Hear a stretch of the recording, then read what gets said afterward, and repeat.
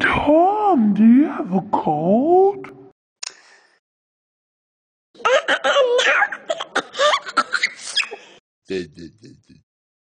Yes, you do.